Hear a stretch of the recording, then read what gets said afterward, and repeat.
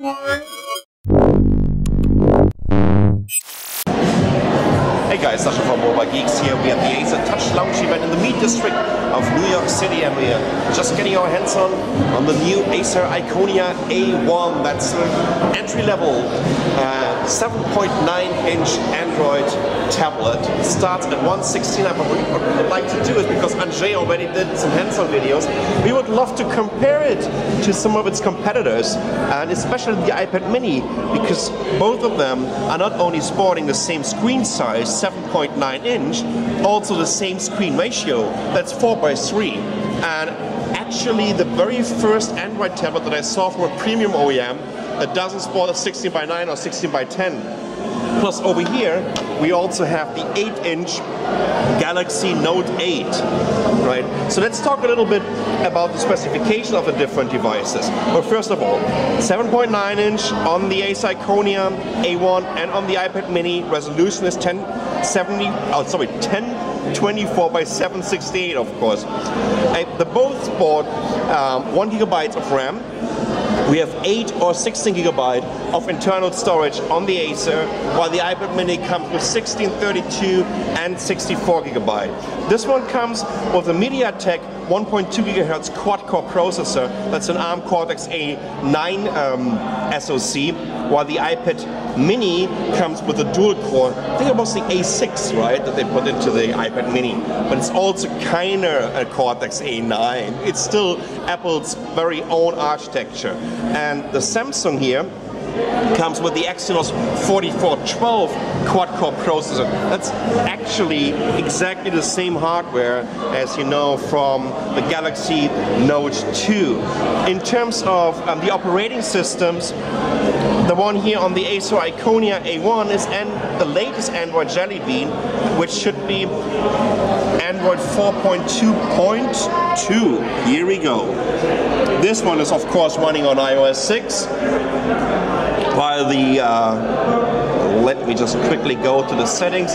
What I would expect that this is also a Jelly Bean 4. Point, is it 4.1? 4.1.2. Of course, the resolution is quite different here on the Samsung Galaxy Note 8. That's 1280 by 800, and that's a 16 by 9 or 16 by 10 ratio. While this, while these both uh, are sporting a 4 by 3. So what's the difference? You can see a little bit more when you're looking at website. Let's try to open a website. I'm not sure if this is connected to the internet. Doesn't look like it. Oh well, it is. So what you can see over here is something that Acer took over from Apple, kind of having this traditional, let's say, magazine or book ratio, while the Galaxy Note more comes with a, yeah, say a movie ratio. So when you're watching movies or any kind of media, it definitely looks better on the Galaxy Note 8 compared to um, the iPad mini or the Acer Iconia A1. What about other hardware features? Uh, we have a 5 megapixel camera on the Acer Iconia A1. There's also 5 megapixel camera on the back on the iPad mini. And guess what? There's also 5 megapixel camera on the back of the Samsung Galaxy Note. Let's take a look at you know, all of these devices are roughly around 340, 350 grams. And let's check out how thin they are. Well, the iPad mini, in terms of the build quality, you can't beat this.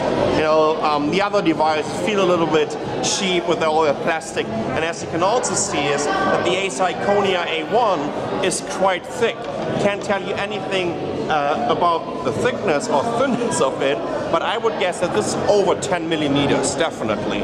But what you have to keep in mind, this is only a $169. So for $169, quad core with the latest Android Jelly Bean, um, with a proper build quality, 5 megapixel camera, I think this is an absolutely bargain.